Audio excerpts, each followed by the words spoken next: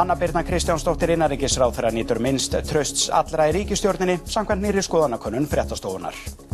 Og þá öðru, fjórðungur svarenda ber minnst tröst til Hönnu Birnum Kristjánsdóttur innanríkisráðherra samkvæmt nýri könnun fréttastofu, uh, fréttastofu stöðvar 2 og fréttablaðsins. Stjórnmálafræðingur segir niðurstöðuna áhyggjuefni, bæði fyrir ráðherra og stjórnarflokkana. Gunnar Alli Gunnarsson.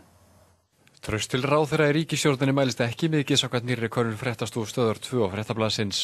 Ringt var í 1056 mann sem þar af náðist í 650 mann sakvæmt lagskiptu úrtaki viðgudaginn 27. ágúst og 5. daginn 28. ágúst. Þáttakandur voru valdri með slembi úrtaki úr þjóðskrám og svar hlutvall var 61,5%. Svarendur skiptust jáft eftir kyni og hlutvarslega eftir búsettu og aldri.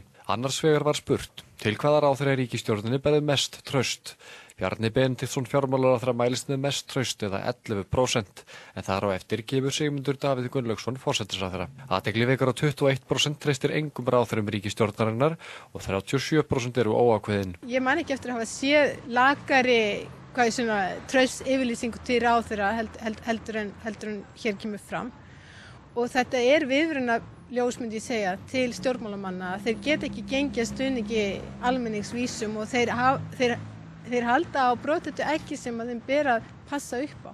Hins vegar var spurt, til hvaða ráð þeirra ríkistjórninni berðu minnst tröst. Þar kemur fram að fjórðungur aðspurðra bera minnst tröst til hönnubyrnu Kristjánsdóttur innriksráþra en þar á eftir kemur fórsættisráþra með 15% og fjármálaráþra með 6%. 35% aðspurðra eru óákveðin. Áðungefni fyrir hönnubyrnu?